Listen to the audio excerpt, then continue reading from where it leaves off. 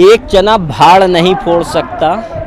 ये हमारे पूर्वज हम लोगों को कहावत सुनाते थे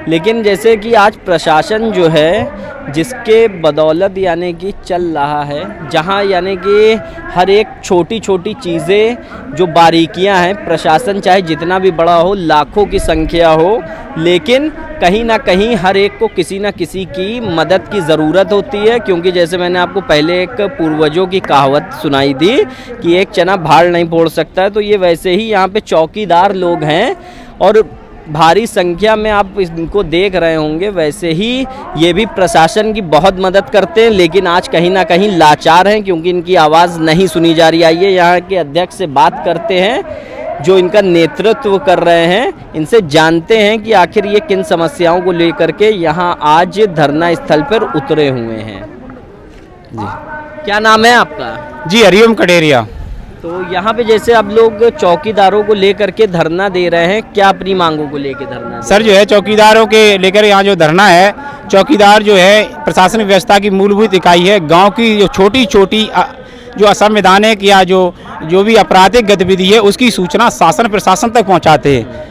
लेकिन इसके साथ साथ भी प्रशासन की दिन रात 24 घंटे जो ये सेवा भी करते हैं और कभी भी इनको जो है आकस्मिक कभी भी इनको जब भी प्रशासन द्वारा अवगत कराया जाता है या बुलाया जाता, हमेशा अपने कर्तव्यनिष्ठ और जो है अपने जो जो है शासन की मदद करने के लिए हमेशा तैयार रहते हैं। उसके एवज में इनको केवल मासिक वेतन पंद्रह सौ रुपये दिया जाता है, जो आज के समय में बहुत ही कम है। और हमें कहना भी जो है, बल्कि सारे लोग समझ भी रहे होंगे, जो भी सुन रहे होंगे कि पंद्रह सौ रुपये आज आज क्या हो सकता है। जी। तो यहाँ पे जैसे कि आप लोग क्या यानी कि आपकी प्रमुख मांगे क्या हैं?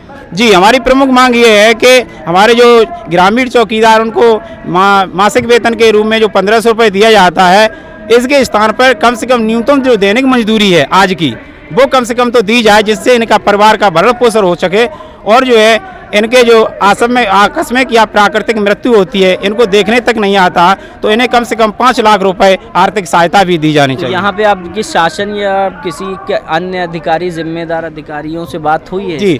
जी सर हम आपको बताना चाहेंगे कि तेईस मई को से हमारा यहाँ धरना शुरू हुआ था और एक मई को माननीय एसीएम श्रीमान एसीएम महोदय जी के आश्वासन से धरना समाप्त किया गया और उन्होंने ये कहा था कि चार मई या पाँच मई को जो पाँच चार या पाँच जून को ये जून चल रही सर जून को जो है हम आपकी मांगों को पूर्ण करा देंगे और पूर्ण होंगी भी इसका और आप धरना समाप्त कर दीजिए। तो हम सभी चौकीदार जो है सर के आश्वासन से हम सभी ने अपना धरना को अनशन को खत्म कर दिया। किस अधिकारी से बात हुई थी? सर एसीएम महोदय जी आए हुए थे यहाँ पर। जी हाँ।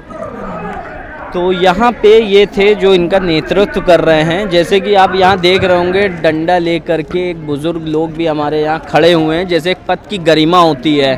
पुरानी फ़िल्मों में एक डायलॉग था मोछे हों तो नत्थू लाल जैसी। तो आप स्क्रीन पे भी देख रहे होंगे कि जैसे कि एकदम जैसे ही चोर इनको देखे तो चोर यानी कि डर के उसमें भाग जाए। तो आइए इनसे भी बात करते हैं। क्या नाम है आपका? केशव राम।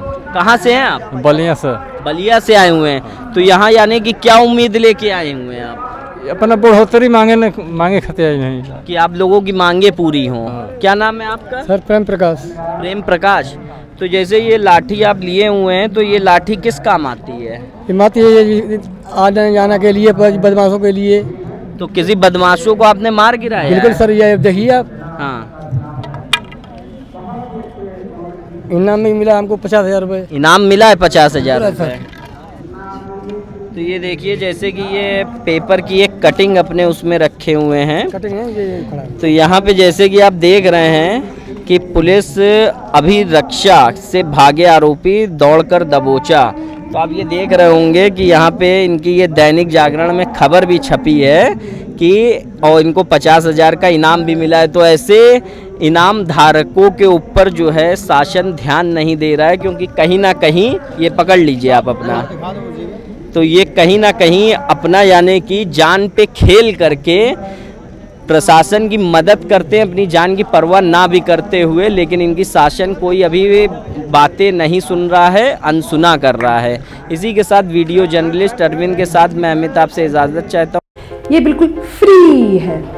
सब्सक्राइब करिए हमारे एस टी न्यूज़ चैनल को और दबाइए इस घंटे को ताकि आपको मिलती रहे हमारी ताज़ी खबरें।